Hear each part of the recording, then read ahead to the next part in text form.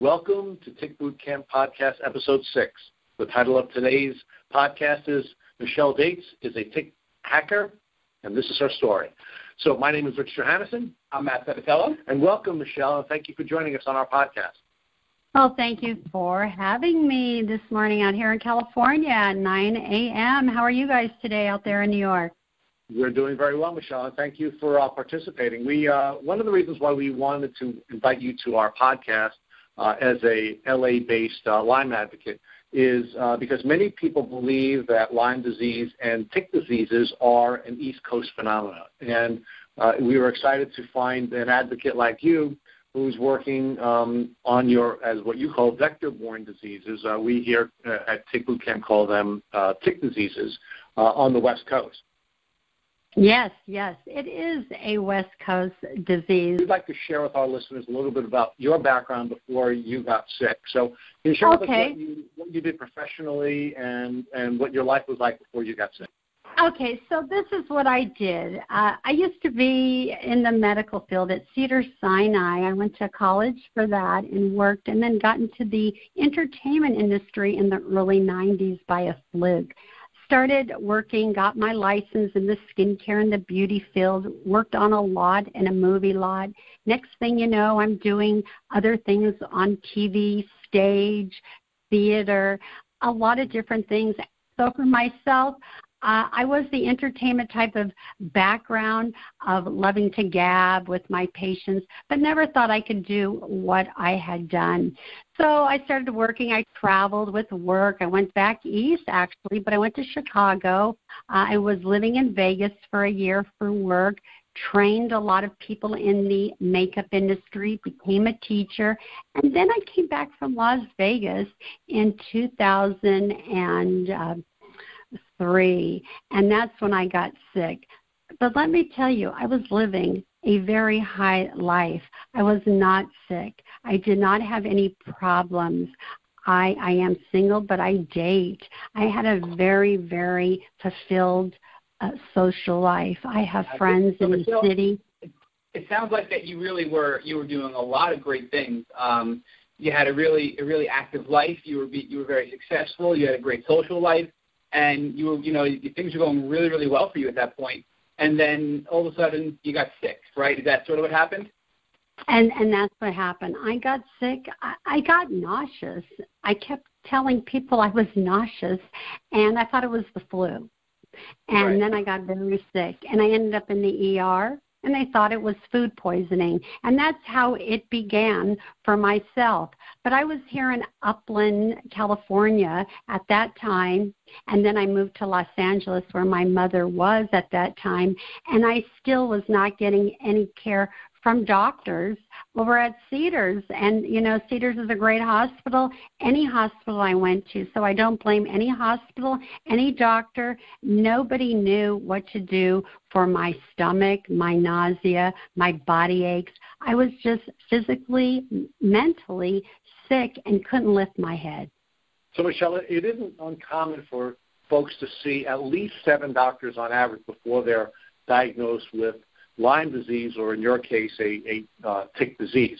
Um, you, exactly. indicated earlier you were you were treated, or at least you saw um, in excess of 30 doctors before you were finally properly diagnosed. I, I, that's about right. I, I, I'm not lying to you. I probably went to about 15 uh, regular MDs I went to GIs, gastroenterology. I went to ENTs. I went to infectious disease, which the labs were coming up not accurate that I noticed. My lymph, uh, lymph, which is in the uh, medical world, your lymph drainage, your lymphocytes, these blood cells didn't look right to me. They looked low. They weren't properly. Uh, taken care of. And one physician did say, You're just stressed. Maybe you have some toxicity, just detox. And that's about the extent of it at that time. And that was in 2006. Wow. Yes, I'm going to interrupt real quick, Michelle, because um, our listeners know my story already, and you do from our, our previous discussions, where uh, I had a very similar experience where I was living a very healthy, active, successful life, and then I just got really sick, and my life just took a com- you know a complete turn for the worse and I went through many doctors, um, many false diagnoses, uh, and it took me two years to get a proper Lyme diagnosis in my case, and it really, really just changed my life completely. And if it weren't for my family, and it sounds like you have a very supportive family, and your and your mother, and my mother was very supportive in my um, treatment as well, um, we may not be where we are today. And uh, you know, exactly. it's just amazing how you can go from being so so healthy and running such a great life that you, you get really, really sick, right? Um, so Michelle, tell exactly. us how you, who, how how did you finally hit your diagnosis? What was the what was the moment where you recognized that you had a tick disease? Oh, well, I'll tell you, I actually got on the internet because I was a teacher, so I knew about the internet. I'm not savvy on the internet, and I started to Google about the toxicity and different type of detoxing, toxicity, candida, different things like that, and came up Lyme disease. I figured maybe I have that. I actually have a cousin who said, I have a great doctor for you uh, who is integrative. He's not a Lyme doctor. He's just a very good internal medicine integrative doctor who is well known all over the world and does a lot of things. And so I booked an appointment, and it took me eight months to see him. And I said, Please, will you run this test. It was a local test, actually. He did not run the big uh, Western blot at IGeneX lab up in Northern California. And he said, I can't believe it. You have some co infections. And that's when it came. He said, You actually knew what you had. And from that point on, the bond of him and I became.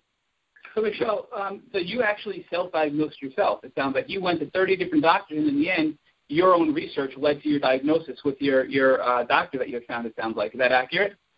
Egg accurate and mold as wow. well. He can, yeah, yeah. I've actually diagnosed everything.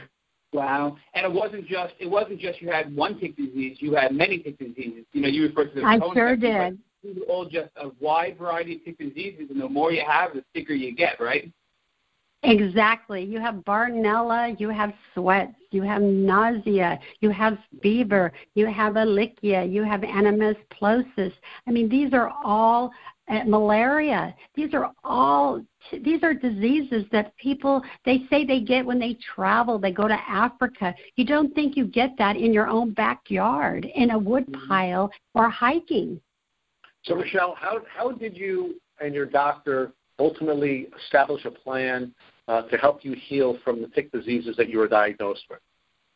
Well, it started out because he's very integrative. As I said, he's not a Lyme disease doctor. And he does a lot for other things, you know, people that are sick and then people that want holistic care, integrative. And a lot of people like that. So, what we had to do was detox my body and bring my immune system up. So he does sell a lot of supplements as well and he had a lot of IVs in the office that a lot of people do but it's very hard to afford those and people do pay for those that can but it's not the cure all but it brings you in remission. So that's what I did. I did a lot of detoxing, a lot of blood ozone to clean my blood, to bring my cells up with vitamin Bs, a lot of different type of uh, immune therapy type of uh, supplements that he had in the office.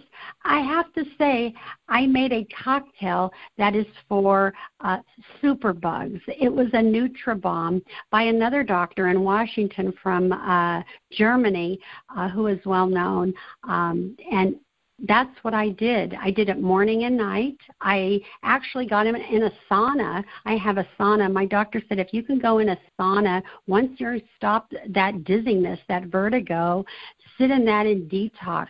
So I did a lot at home besides doing a lot in his office. But remember, not everyone has the financial being to go to a doctor's office. So you have to do a lot at home yourself, and that's what we did. I did a lot at home. Wow. So it sounds like you really took you, you tackled this from all different angles with your with your doctor, where uh, you, you did some antibiotic therapies and you did some natural holistic therapies to promote your, yes. immune, your immune system health, to remove the toxins and detox all the toxins within your body. So you really hit this from all angles. Um, and, and about how long were you on those antibiotics for, uh, Michelle? You know, not a long time. I mean, a few months I was on it, it helped, but it was not the answer. So I always tell people when they say the antibiotics are the cure all, we thought it may be the cure all. It was not the cure all. So putting a port in because my veins were so bad was good at that time, but it, it came back and we realized the natural medicine was a lot better. Now, and it was natural a, medicine, Michelle, natural medicine, some natural medicine, sometimes IV. The doctor did in his office. Uh, blood ozone. ozone that you were taking? Yes, the ozone therapy. Some people do stem cell. Um, just regular um, you know B12 Meyer cocktails. They're different type of cocktails that these doctors give names for that mix a lot of vitamins with that, uh, and then you go home with their other regimens on top of it. So you have to go home and do the supplements. So that's what I did, but I didn't do it every day. I you know I didn't have that kind of money to do it every day. So if I did it once a week for maybe six weeks, then I stopped, and the yeah, cells got so, better. so some of the other things I think you had done as well were you know, um, things that I learned really late in the game is to take strong probiotics to, to start to promote your gut health again and get your gut health better. Uh, exactly. You also, you also did some um, turmeric, which is known to reduce inflammation. So you put turmeric in your food to cut back on the inflammation, which is one of the, the factors that causes the pain and a lot of the symptoms with, with Lyme disease and uh, these other these other tick infections that you can get in tick diseases. So it exactly. also like above and beyond the antibiotics and the holistic natural approach with these herbs and supplements, you know, the, vit- the you know, the vitamins, uh, all the probiotics, you also then change your diet where you, you recognize that gluten was a big trigger for you to feel feel ill as well. So it sounds like I think exactly. you really modified your diet to, to take advantage of these superfoods to keep you healthy. So you really hit it from all these angles. Can you speak a little bit about those those superfoods and some of the some of the shakes and some of the some of the, the food that you eat that really helps you feel better and not feel sick the next day? I, I sure will. I'll start off. My doctor did give me a foods test. I'll never forget that. And when he came back to me the first month I was with him, he said, "You're going to love celery for the next year because everything had inflammation in my body. Bananas, everything that we love. So I had to cut everything out. So when I was able to get a little bit better, I started to do the things he suggested. So the probi- probiotics. Now some people take a hundred billion. You know, they sell things in the store. I always tell my friends and friends online, ask your doctor what's best for your belly because I am not a doctor and I'm not going to diagnose you. But probiotics are the best to repair that leaky gut. So I take about 200 billion. So I make that, I take that, and then I also make a shake. So I make a blueberry shake that has an antioxidant with fiber. Because if you don't have the fiber, you need at least 20 grams of fiber every day to release all those toxins in the GI tract, anyways. So I put a little uh, protein drink in there that has turmeric, skullcap, bromelain. These are all anti inflammatory agents that bring down the inflammation that people get with arthritis, rheumatoid arthritis, and a lot of things that contribute to Lyme disease as well. And people that don't realize what Lyme disease is, and they probably have it, and it helps them. And so that's what I've been doing the last years. I do videos on that. Uh, people see it on Facebook. Um, and that's what I do. My doctor did not teach me to do these shakes. I just went ahead and did them one day and had a good time, and it actually helped. When you have friends that are going out for Super Bowl Sunday and they're having a drink and having all those beans and salsa, and you can't with the gluten, and it's tearing your stomach apart, I found a way of having guacamole, which is great omegas, Put some cilantro, which is a great detoxer. Make a little shake with blueberry antioxidant. Put a little lemon in there, which is a good detoxer on the side. Hey, you got yourself a party like the rest. Why not be part of the group? You're doing a great job of, of, of, hacking, and that's why we, we were happy to invite you onto the program and define you as a tick hacker. So, Michelle, uh, tell us a little bit about how you're feeling now that you've uh, gone through this uh, journey, and uh, what recommendations you have for folks who are um, who are not as far along in the journey as you are to uh, getting themselves closer to a uh, healthier life. Well, one, I would say research. You must research. If you do not research, you won't get anywhere. You need to pick up that internet and look and research. Second, do the diet, do the gluten free, do the supplements, and then you hear the other side I'm broke. I don't have the money. But a little bit at a time. It doesn't cost a lot of money to have a couple of berries or have a little probiotics. There are things you can eat sauerkraut is a great probiotic that you can get 69 cents at Walmart. So there's a lot of things you can do to build the body up. And that's what I did. How do I feel today? I have my days. I am not, I was in remission. Now I've gone down. Uh, a little bit. And due to, I have sinus problems, and that's why it's gone down. Once an infection comes in the body, it brings that whole immune system down. And so I need to bring it back up. And that's where I'm at now, but I'm a lot better than I was, I would say. So I have come a long way. I would tell someone to research, try a little bit at a time and do it and do the work. You will get better. It's just taking that first step. Michelle, it sounds like you've come a really long way from the time you first got sick when you were when you were really really ill to where you are today, and you've come a long way. Um, we recognize that there's really no cure for Lyme disease and other tick diseases. However, you found ways to really to, to combat that and and um, come come a long way with your health. So, can you speak a little bit about that? Do you, do you agree that you've come a long way and you're healthier than you were? I you know, do. I Yes, I have come a long way. I, I have to say, you know, I bring this a big circle family. Family is really important. And at first, I have a really great mom. I have to say, give her kudos because she is my sole supporter. But it was very hard to convince her and family what I'm going through. And once I got her in that bubble and she realized that, things got a lot better. So, yes, I have come a long way. If it wasn't for her, I probably wouldn't be where I am. So, you need a support system, at least one person. Someone needs someone and a doctor. If you can get your doctor to bond, that's great. But you do. My family, not everyone was on board with me, and maybe not today still, but it took a very long time, and I just didn't stop. You've got to be persistent. You can't give up. This disease, you cannot give up. It, it, it's like a I call it the cancer. I hate to say it because there's no cure. The remission you can you can feel better, but you can get sick again.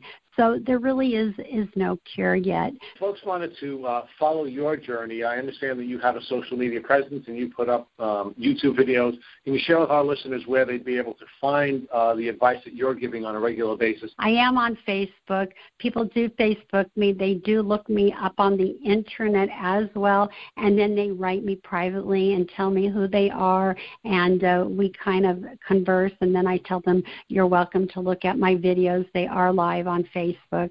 If they say they came to your uh, site, you know, uh, Tick Boot Camp, uh, I'm welcome to confirm them. You know how social media is today. I was so thankful you guys called me. You're doing a good job at it because we found you out here all the way from from New York in California. You did. So you know you're you're you're doing a great job. I mean, it's amazing how far you've come and and Michelle, we just thank you for taking the time to speak with us on our podcast today. I think your story. Thank you so much, Richard. Thank you and so much, Matt. I, I've had I had a great time. I hope it helps. We're going to just move forward.